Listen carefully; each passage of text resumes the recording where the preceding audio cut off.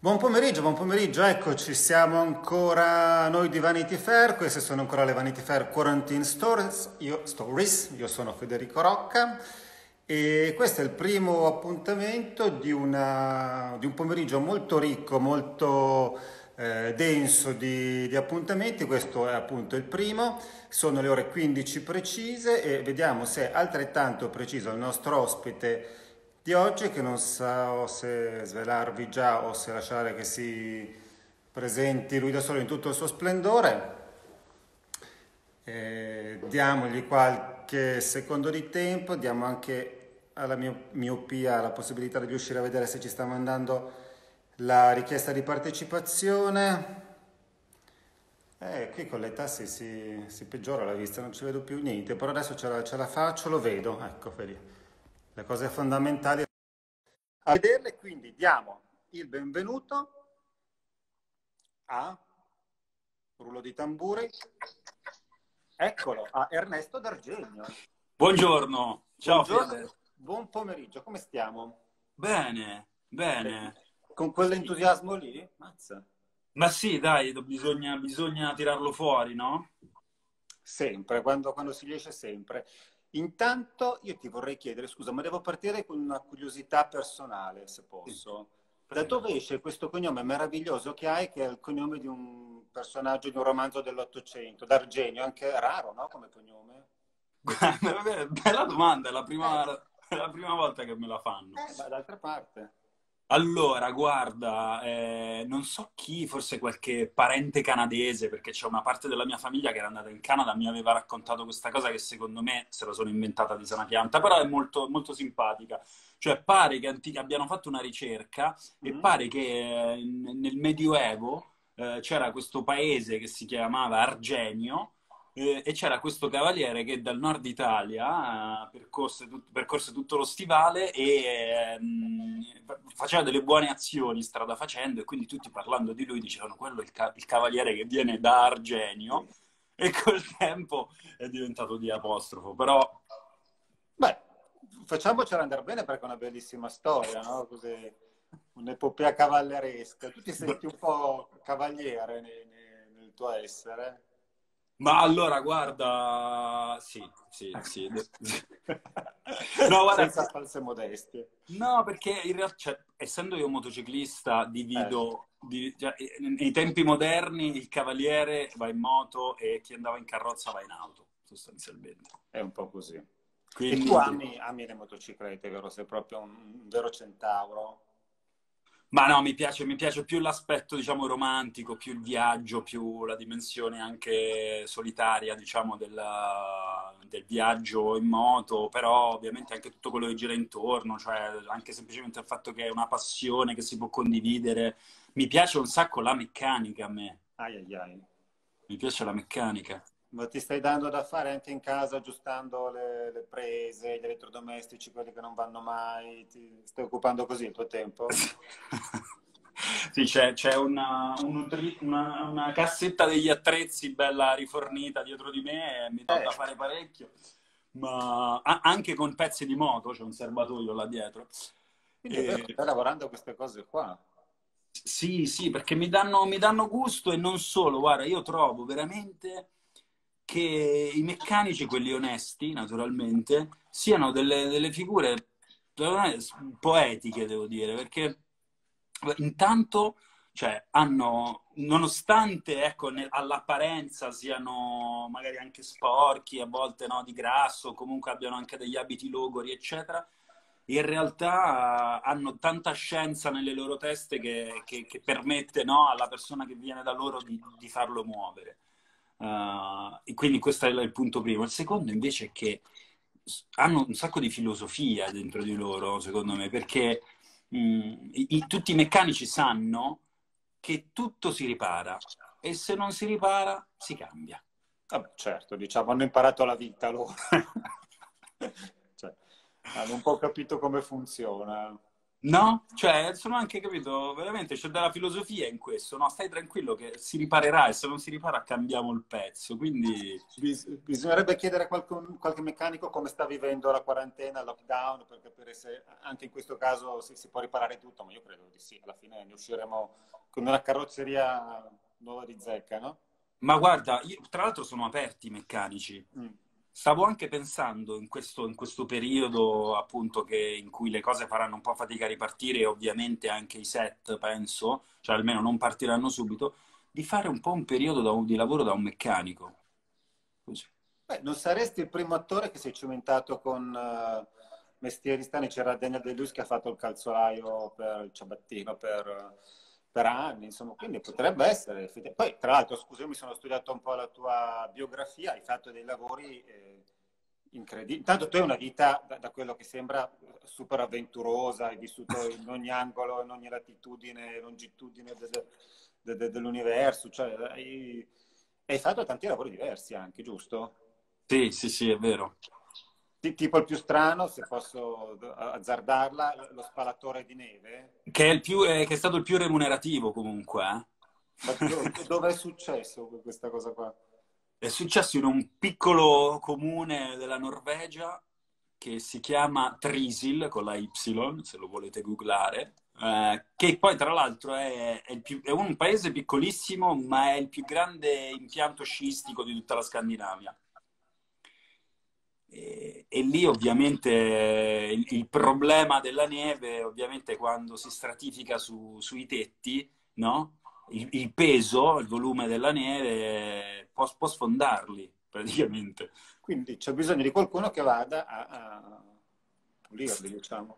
Sì, avevo conosciuto, allora eh, ero fidanzato con una ragazza svedese eh, che si chiamava Anna Svensson, che avevo conosciuto sulla nave da crociera dove lavoravo, dove facevo il sommelier una nave su cui mi ero imbarcato a Singapore, visto che poi la, la, l'aspetto avventuroso. Allora, certo. ero imbarcato su questa nave a Singapore uh, e per due settimane ho fatto, diciamo, la, la, formazione, no? Quindi abbiamo fatto Singapore-Singapore, passando ovviamente per la, la Thailandia e tutto quel golfo lì. Uh, ho rischiato di essere cacciato dopo due settimane, uh, per fortuna. Perché? E eh, vabbè, questi poi sono dettagli eh che no, magari... sono dettagli che ci interessano. Lasciamo... Perché praticamente mm, ci trovavamo, non vorrei sbagliare, ma credo nella Myanmar, che è l'attuale Birmania, e una sera praticamente siamo usciti con una piccola combriccola, tra cui uh, un ragazzo di Roma che faceva il cameriere e un uh, restaurant manager di Torino che mi ero ritrovato tra l'altro nella stanza a Singapore appena arrivato su questo grattacielo enorme e, e l'autista eh, che mi, mi, snocciolava la formazione dell'Italia uh, 90 praticamente quando mi ha portato. E, e, niente una sera decidemmo di uscire eh, un'avventura veramente incredibile ti dico veramente incredibile e ricordo chiaramente questa immagine anche abbastanza terrificante lì per lì, cioè ci venne a prendere questo taxi che ovviamente la lamiera del, del taxi era forse un foglio di carta come spessore. Noi salimmo in macchina, ci portò, guidò per credo 40 minuti nel buio più totale, quando quasi all'improvviso emerse così dalle tenebre una sorta di, di villaggio con persone, ed erano forse già l'una, le due di notte, con persone che si muovevano nello spazio in maniera molto veloce, fuochi, persone che cucinavano in mezzo alla strada e a un certo punto un ragazzo che si butta, un giovane, giovanissimo, che aveva avuto 8-9 anni, si butta sul cruscotto del, del, del taxi e praticamente sorride e con questi denti che erano praticamente insanguinati, completamente. Ho scoperto però poi che in realtà era, è una radice che si usa da quelle parti e che ti praticamente colora tutta, tutta la bocca. E siamo finiti in un postaccio dove voleva andare appunto il restaurant manager di Torino, che poi era una sorta di strip club, ma allucinante, allucinante perché praticamente eh, cioè, finimmo in una sorta di tipo in quei film americani dove ci sono le, gli ascensori con quelle saracinesche che si tirano giù, mm-hmm. no? Arrivammo in questo posto incredibile, io totalmente a disagio, giovanissimo, tra l'altro così. Insomma, questa avventura finalmente volse al termine, tornammo alla nave che era attraccata al porto, però avevamo una fame nera ed eravamo alloggiati, tra virgolette alloggiati, eh, visto appunto che stavamo facendo questa, questa mh, stavamo imparando ancora, diciamo, tutti i codici della nave, eccetera, ci avevano permesso eh, di stare in una stanza degli ospiti che non era in quel momento abitata, ovviamente, e avevamo l'ardire di fare un room service praticamente. Pensa, cioè, abbiamo riportato a casa la pelle dopo questa avventura e come dei cretini abbiamo telefonato per chiedere un hamburger. Il ragazzo filippino, il cameriere, quando ce lo portò, aprì, noi aprimmo la porta, lui ci riconobbe lì per lì, spaventato, tremava, ha, ha, buttato giù praticamente questo vassoio perché aveva capito il guaio in cui noi ci eravamo appena cacciati. L'indomani ci chiamò praticamente il hotel director mm, something e, e ci disse, insomma, ci fece il famoso cazziatone. Io non so come siamo finiti sui tetti di, della Norvegia da questo punto, però... Eh... Ah sì, scusami, certo. Perché lì conobbi Anna Svensson. Ah, che faceva? Lei lavorava come hair stylist, tagliava i capelli nella piccola spa di questa... Mm. Era, in realtà era una nave da crociera molto piccola, Erano... aveva 300 passeggeri di capienza massimo, quindi è veramente piccola. Tanto che con la nave addirittura eh, abbiamo attraversato il canale di Suez per dirti quanto era piccola. Quindi tu diciamo così, sei capace che salti su una piccola nave da crociera, ti ritrovi in Norvegia a, buttare giù la neve dai tetti ed è tutto normale, tranquillo, sì. Sei un tipo così, diciamo. Ma diciamo che sicuramente non mi perdo d'animo, non mi, non mi scoraggio, credo che... Forse per questo mi trovo entusiasta perché, insomma, so che il momento non è facile, ma bisogna no, nelle difficoltà anche guardare e ti assicuro che ne ho viste di difficoltà in quei momenti anche, no? Tra l'altro poi la, l'esperienza della nave da crociera si era anche conclusa poi in maniera negativa in realtà, tanto che appunto io decisi di scendere, era finito in realtà il mio periodo, io avevo finito i miei sei mesi di mandato, Uh, mi avevano chiesto di prolungarli per altri due perché gli serviva sostanzialmente un sommelier lì a bordo però è stata veramente anche sgradevole a tratti. Ho, visto, ho vissuto delle cose molto molto belle, eh, come per esempio la generosità di certi clienti, ho, ho visto de, delle diapositive del mondo che probabilmente se ci metti una vita viaggiando non, non le avrei viste. Eh, naturalmente ti, ti, parlo di diapositive perché non è che sono, cioè, sono stato, che ne so, quattro giorni in un porto, tre in un altro, però Uh, no, non, mi, non, mi, butto giù, non mi perdo d'animo e se mi devo sporcare le mani anche di grasso non, non mi spaventa questo. Quindi... Soprattutto per aggiustare un motore. Esatto. Non ti ho chiesto dove sei, però in che città sei? A Roma? Sì, sono a Roma. Sei a Roma. E con chi stai passando la quarantena? Sei solo? Sono con la mia donna e il mio cane, anzi è una femmina anche lei. Perché... La beba? La beba, esattamente. Non ce la fai a vedere la beba? Guardala. Ah, vedi, dorme lei, tranquilla. Beh, bamba mia poverina. No, L'ho proprio resuscitato. Ma, ma ha ragione lei, posso dire. No.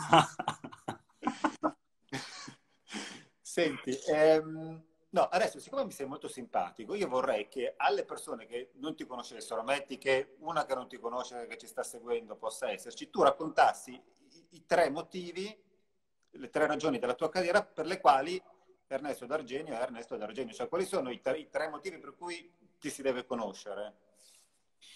In generale, dici?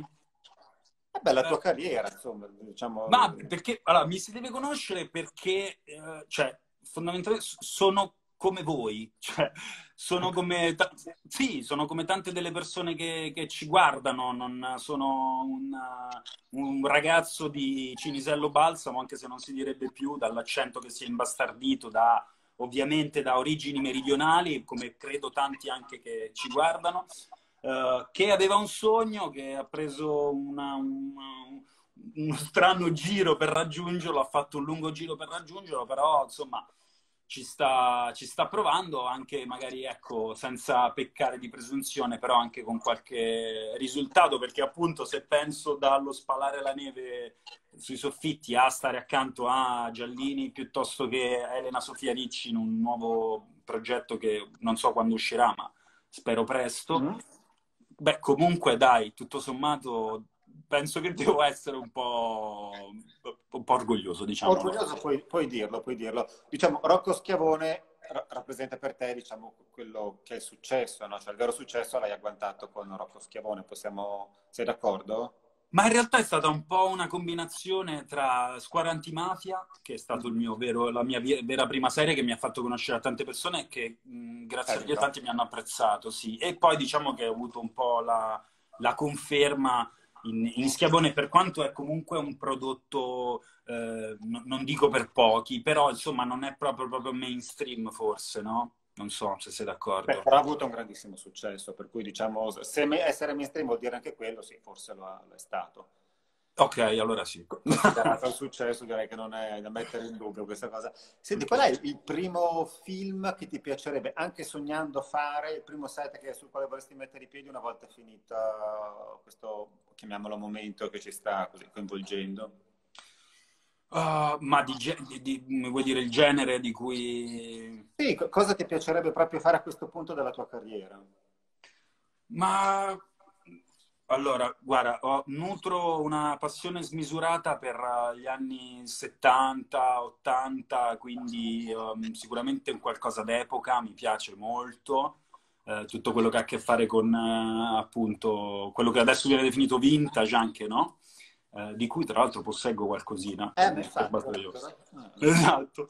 E, e, e, mi piacerebbe un, un, noir, sicuramente un bel film noir con tinte anche appunto chiaroscurate e, o, o un bel western. Ah, in Italia purtroppo non se ne fanno più moltissimi, anche se sta, siamo stati maestri, diciamo, no, del genere. Ti rendi conto? Eh, perché? Ma per scelte credo anche un po' cazzo, siamo, siamo veramente i, i, numeri uno a dilapida, dilapidare. È no? vero, è vero. Ma tu ti sentiresti come nel ruolo del buono, del brutto o del cattivo? Ma del cattivo, per sfogare, per sfogare, se non altro l'arte, tra virgolette, ti, ti, permette questo, no? Ti apre una finestra su quello che non è permesso nel mondo, diciamo, normale. Quindi sfogherei tutta quella parte di me che c'è. Attenzione. Ernesto il cattivo. Ma guarda, infatti il mio primo ruolo, per cui qualcuno veramente ancora mi scrive e mi fa veramente tanto piacere, è, era comunque un personaggio che sì, aveva una sua umanità una sua, uh, un suo, una sua etica, però era un personaggio oggettivamente negativo. Beh, sono anche i personaggi che danno agli attori in genere come dire, grandi chance di performance memorabili. Eh, è appagante no? fare i cattivi quando sono ben tratteggiati. E infatti il mio Italo ha avuto anche più, no? È piaciuto ancora di più nel momento in cui ho iniziato a prendere una deriva, credo, no? Forse. È possibile. Ehm, parlavi di, di, passioni vintage, in effetti io so, però correggimi, che tu hai una bicicletta del 55? Sì, sta là. Io qua lo, lo metto sul mio, però non c'è, non c'è... Aspetta. Praticamente... E la usi questa, no? È un cimelio. Ma la, la, uso, la uso ogni tanto, praticamente... Eccola qua. Ah sì, cioè, È una Bianchi del 55 con i freni a bacchetta, l'ho recuperata praticamente il telaio, c'era solo il telaio, questo qui. Stupendo. È bellissima perché dall'altra parte, adesso non posso fartela vedere, però dove c'è la corona praticamente della bici, c'è, mh, mm, ci sono delle B, ci sono tre B nella corona che fanno girare la catena. E stanno per B bianchi, no? Per eh sì, sì, per bianchi. bianchi. Ah. E, e, poi ha una Fiat 124 pure. Sì, sono, sono un folle, sono un folle eh, scatenato, sì, sì. Mentre ero lì a Catania, che giravo Squadra Ho... Sì, ho questa passione, devo dire, che, che, che coltivo ovviamente con, con, questo unico pezzo e con tanti giornali che, che compro, però c'era un signore che vendeva praticamente l'auto di, di, di, suo padre, che purtroppo per lui non c'era più, che era un barbiere di Catania, e la vendeva tipo a 500 euro.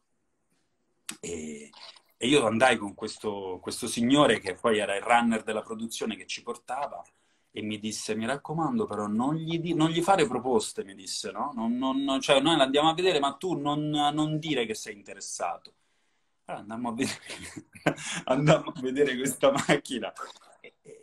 A me piaceva, ovviamente la conoscevo. Con l'acquolina alla bocca? Beh, è, è un'auto che tra l'altro quando, quando, utilizzo mi piace anche perché strappa un sorriso a tante persone, no? Eh, ma quello è un po' anche un modo per broccolare, adesso la tua compagna non ci sentirà, però insomma... Ci sente bene. C'ha un udito finissimo. No, eh, no, beh, davvero è bello perché strappi questo sorriso a chi si ricorda veramente il nonno, chi, chi mi ferma e mi dice bellissima, ce l'ha mio zio, no? Fammi sognare, dimmi che è tipo arancione, turchese, dimmi che è una roba, che colore è? Guarda, è bianca con gli interni in pelle rossa. Ah, wow, vabbè, no. Sky, non è pelle veramente Sky. Però, guarda, è un'auto cioè, adesso io voglio, non voglio fare la retorica dei tempi che furono, però... Ti stava meglio. Eh, certo. No, no, ti giuro, te lo giuro. Ho anche un'auto normale che ho, che ho acquistato perché ovviamente la mia donna non ama giustamente andare in giro senza cinture, perché nel 66 ancora non erano obbligatorie. E, e, però girando io solo per raduni o per, solo la domenica, così posso farlo. E praticamente sono sceso per accendere il motore di entrambe le macchine, che da un po' che erano ferme, o oh, la lancia musa è ferma, la batteria, e il 124 si è acceso. Ma noi non stiamo facendo pubblicità, tutte le macchine sono pazzesche, ci piacciono tutte. Ah no, no, certo. Sono, tutte incredibili. No, ma è un 124 d'epoca, non è in produzione. Mm. No, invece hai citato più, più volte il fatto che eh, eri e sei un sommelier. Eh sì, sì, quello è quello, diciamo, dove insomma ho, la... sì, ho lavorato in quell'ambito, nella ristorazione di, di... cioè diciamo che sì, ho, ho, deciso di... Allora, io volevo fare l'attore, però um, non è stata una cosa che mi è stata, come dire, concessa immediatamente o comunque non era, non era nei, nei piani. Uh, quando sei piccolo ovviamente sono delle persone che badano per noi e quindi non, non puoi fare esattamente quello che vuoi, uh, però ad un certo punto invece decisi comunque di rompere questa sorta di legame e, e, e per farlo pensai di, di, fa, di, andare all'estero, di modo che avrei comunque portato a casa almeno una lingua, se non altro, no? E quindi decisi di andare in Inghilterra, però prima di fare ciò mi posi questo quesito, cioè che cosa posso fare? E allora pensai come appunto che, che cosa, cioè, sono italiano, ho pensato, no? E, e, e, in che cosa siamo bravi noi? In tante cose, ma in che cosa siamo conosciuti nel mondo? E dissi spaghetti, mandolino e mafia. Mafia l'avevo fatta dopo, poi in scuola Per finta, diciamolo. Per finta, ovviamente per finta. E, mm, mandolino ci sto provando adesso a imparare questi giorni un po' a suonare la chitarra. E, e, spaghetti, no? quindi la ristorazione, il mondo della ristorazione. E grazie al mio dirimpettaio di Cinisello Balsamo, eh, Pasquale, detto Pascale Cazzotta, ovviamente, mi introdusse al mondo della ristorazione portandomi a fare i banchetti. Hai, fatto, hai, fatto 12, hai vissuto 12 vite tu però. Ma non ti ho raccontato ancora un sacco di cose. Però insomma, Pasquale mi ha introdotto ai banchetti di lusso, sai, matrimoni di un certo tipo, dove si fa un servizio con Geridon, così, e da lì mi portai a casa non solo quegli 800 euro con cui andai così uh, alla rinfusa a Londra, ma anche un minimo di conoscenza per approcciare. E da lì iniziai a lavorare, te la faccio breve, in vari posti tra cui Langham Hotel, che è un posto meraviglioso, ho fatto già ancora pubblicità un'altra volta. Ah, avrai un sì pazzesco. no, vabbè, è un albergo splendido, veramente, che è, pare, sia, pare, è il primo Grand Hotel d'Europa. ed è un castello meraviglioso in mezzo a Regent Street, no? E poi da lì sono andato a lavorare in altri posti stellati Michelin. In quell'Angam, quando andai a lavorare, praticamente um, stava andando via la sommelier, una ragazza spagnola, um, e c'era l'assistente, food and beverage supervisor, insomma l'assistente del manager, che era italiano, Giovanni. E Giovanni mi diede questi compiti di riapprovvigionare praticamente la cantina quando finivano i vini che vendevamo. E da lì gradualmente io ho iniziato una sorta di apprendistato in quel mondo che poi è continuato nell'altro albergo che adesso ho imparato la lezione, non menzionerò. e ho lavorato lì con dei francesi facendo il commisso melier mm, fino a che poi preso dal racconto di questo russo che lavorava in questo ristorante storico proprio di Londra, proprio da, da uh, Jack the Ripper, no? Proprio quella, quella Londra lì fumosa dell'Ottocento. Quest'uomo, ma non era neanche russo, era tipo di uno dei paesi che adesso non sono più Russia, ma una volta lo erano. Eh, con questo sguardo di ghiaccio, guardando no, un po' tipo l'orizzonte di questa sala eh, così tutta perfettamente addobbata, disse, mi ricordava, in realtà parlava a se stesso, ricordava di questi tempi in cui lui lavorava nelle navi da crociera, no? E mi affascinò talmente tanto questo racconto che decisi di, di, di documentarmi e feci, insomma, domani trovai questa, questa piccola compagnia, mh, mm, feci questo test di 100 domande a cui risposi correttamente a 86 Uh, che poi è lo stesso numero con cui mi sono diplomato alle superiori, pur essendo un pessimo studente, devo dire. Giochiamocelo all'otto, questo, se dico a tutte le signore. Diamo anche i numeri, signore. 86.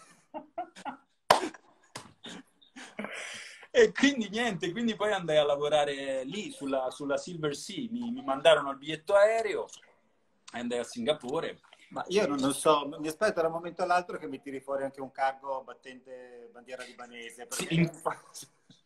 Ma guarda, io infatti non le racconto in realtà queste cose mai. Infatti, mi mi ci siamo simpatici perché anche tu mi sei simpatico. Normalmente non è che sto lì proprio a. Ma a noi ci piace, a noi ci piace. Ma eh, allora, senti, ho delle domande sul vino, delle domande da mh, mm, ignorante totale. Intanto vorrei capire da te se come quantità per una, due a, a, cena, a tavola, una bottiglia va bene, una bottiglia in due è la, è la dose giusta, diciamo? Sì, assolutamente. Bene. Assolutamente. Ecco, poi vorrei proporti delle situazioni e tu ci consigli il vino. Va bene. Adesso situazioni di eh, quarantena, perché eh, purtroppo... Allora, ad esempio, me le sono segnate perché non mi ricordo niente. Ma ti devo allora, dire il vitigno o la cantina? Qual è, diciamo... qual è più pubblicità? la, più pubblicità è dire la cantina proprio. Allora la cantina, via. Ah, proprio ormai... così, spudorati? Abbiamo fatto casino, va bene. Intanto mia sorella chiede su che ruota dovevo giocare il numero. No, infatti, ora diamone tre di numeri. Abbiamo detto 86, poi... 19, che è il mio giorno di nascita. Giorno di nascita, 19, poi... 7, proprio per peccare proprio di luglio. Cioè.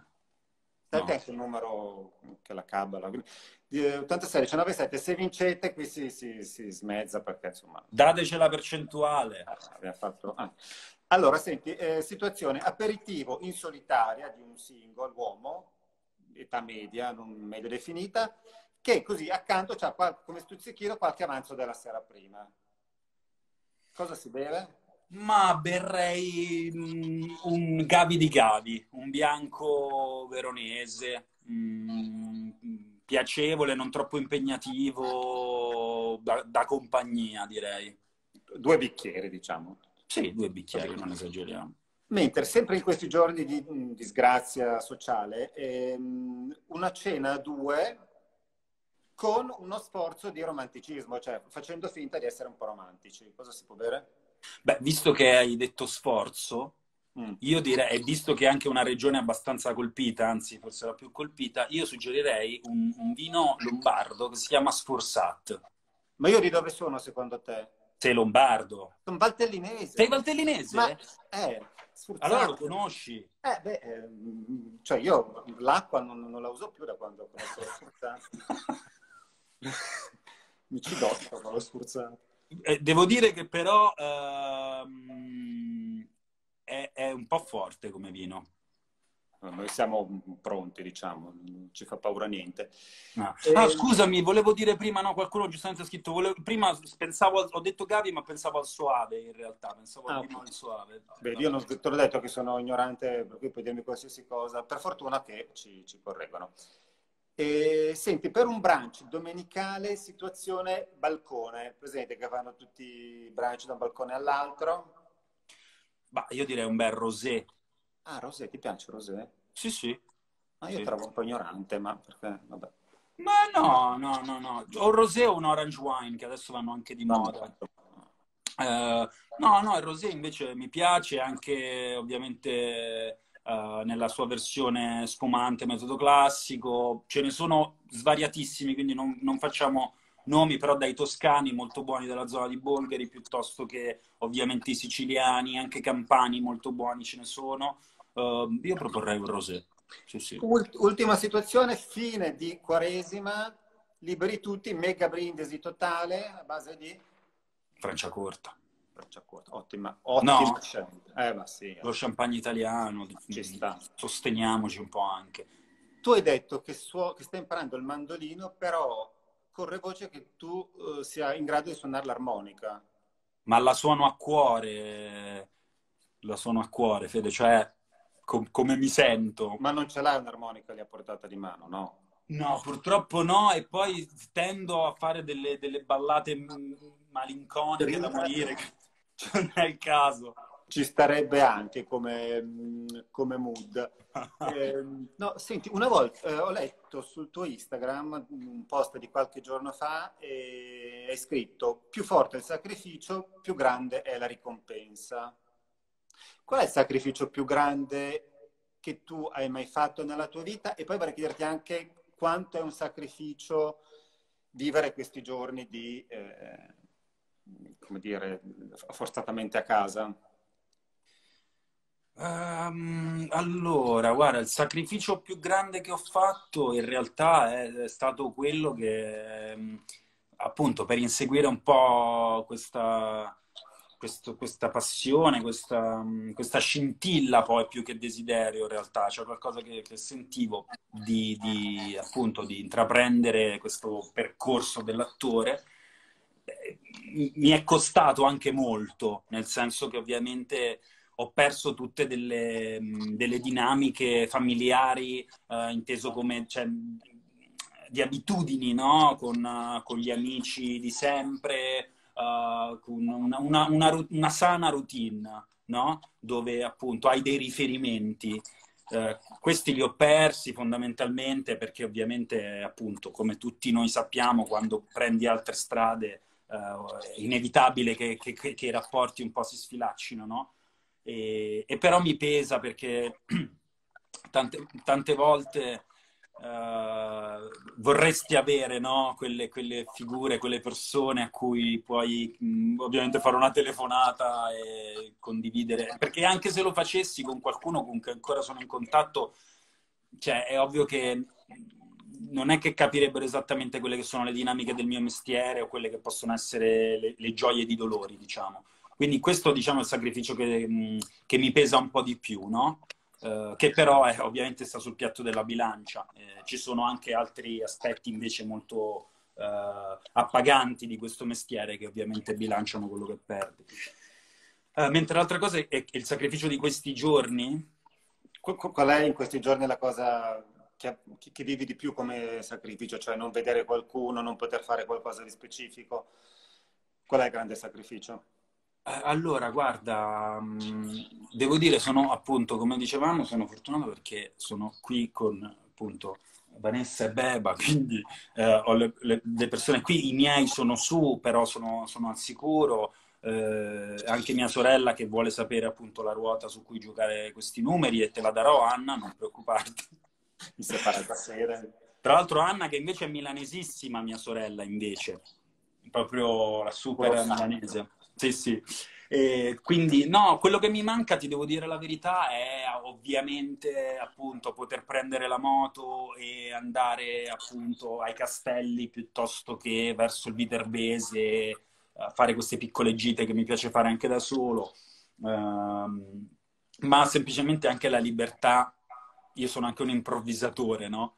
Quindi decidere all'ultimo di, appunto, Roma te, te, lo, te, lo, te lo, regala questo, no? Cioè andarti a mangiare la cosa nella trattoria un po' fuori mano, eh, con, capito, 12 euro, fare un pasto così. E, e queste libertà ovviamente ci sono precluse e mi chiedo per quanto in realtà, perché eh, non chiedertelo, è meglio, fidati. Eh, però in compenso cucino abbastanza bene avendo lavorato in questi posti, quindi Dai, contento.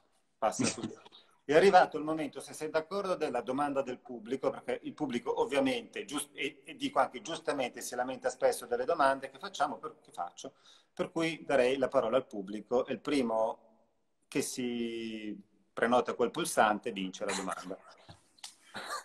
Vediamo. Vediamo. A nostro, ma soprattutto a tuo rischio e pericolo. Ma sì, tanto ormai con questa quarantena non ci sono... Niente, uno perde qualsiasi inibizione. Sono nudo sotto, considera. Sono vestito fino a qua. Sto scherzando. Sto scherzando. Ma niente, non arriva alle domande. E allora... Ernest Canti. Sì, canto, ma non è una domanda. No, Can- cioè... Ma come arrivate a fare l'attore? Non, e ti sei persa tutta la diretta, eh, dolcissima. Allora. Eh, male. Se canti o scrivi anche. Ecco, scrivi. Scri- scrivo, sì, scrivo, scrivevo fino a qualche tempo fa per un, appunto, un giornale di moto, se vuoi poi ti invio l'articolo, qualcuno che ci segue l'ha letto. Eh, sì, scrivacchio, appunto, ho scritto que- questi articoli di viaggi in moto di cui parlo dei paesaggi rispetto al cinema, se ti interessa te lo manderò. Ah, e... Ho scritto un, un, soggetto per un film che sta là.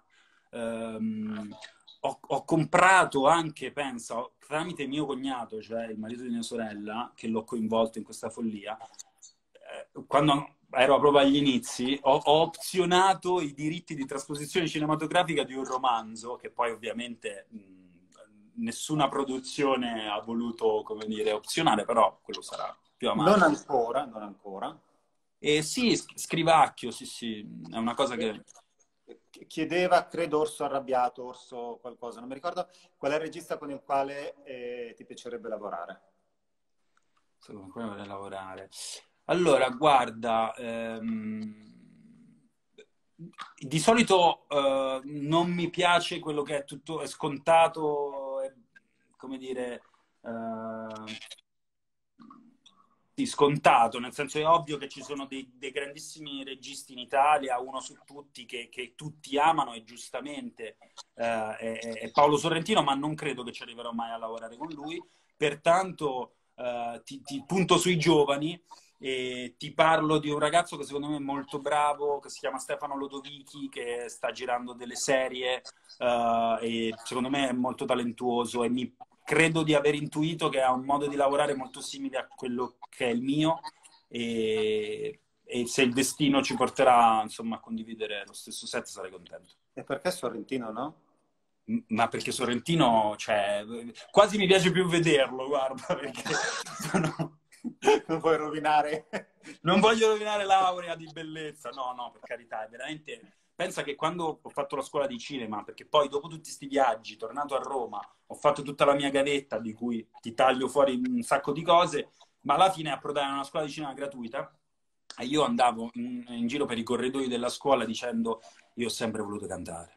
Da piccolo mio padre si incazzava e io cantavo ancora di più. Mi picchiava e io cantavo ancora di più. E, e, e poi lo cambiavo in base a ogni cosa che incontravo. C'era un banco, dicevo io ho sempre voluto fare il banco di scuola. Capite? No, eh, ci, ci, chiedono, poi ti, ti, lasciamo libero, ci chiedono eh, teatro, se hai mai fatto teatro e se ti piace, se vuoi tornarci. Guarda, eh, rispetto alla parte che ti ho tagliato, appunto, anzi, mm. grazie per la domanda, ho iniziato praticamente col gavettone proprio classico, cioè teatri veramente di 40 posti, di cui paganti 5 praticamente a fare lo zoo di vetro, per esempio, di Tennessee Williams, piuttosto che veramente uh, Osborne, ricorda con rabbia, oppure feci una tournée in Toscana. Tante delle persone che mi seguono sono della Toscana, quindi li saluto. Um, nel Maremmano, eh, feci questa, questa tournée shakespeariana nei, in tutti insomma dei paesi, anzi in realtà in tutti i luoghi con um, delle rovine etrusche di cui è piena la, la Toscana e la Maremma nello specifico. Quindi sì, ho fatto parecchio teatro, parecchia gavetta e sì, vorrei tornare, però insomma spero di incontrare, sono un po' separati, diciamo, teatro e televisione uh-huh. barra cinema. Uh, però insomma spero di incontrare una, una, produzione, un testo, un regista che, che insomma, mette a frutto quelle che possono essere le, le frecce uh, al mio arco e quindi al suo. Perfetto Ernesto, noi ti ringraziamo, però prima l'ultima domanda che ti devo fare io, eh, risposta sincera, ti sei divertito di più oggi o di più l'altro giorno con GQ? Mi sembra che non si senta bene la... c'è un problema. C'è un problema di comunicazione. C'è un problema. Senti Ernesto, grazie infinite. E grazie a te. che hai fatto, buona quarantena e a presto. Oh, grazie a te davvero e grazie a tutte le persone che ci hanno seguito. E complimenti per il lavoro che fate perché comunque portate anche no, a casa di tutte le persone facce, persone diverse, insomma storie, racconti. Quindi ci grazie. proviamo, ci proviamo. Grazie infinite. Grazie mille. Pace, grazie mille. Ciao.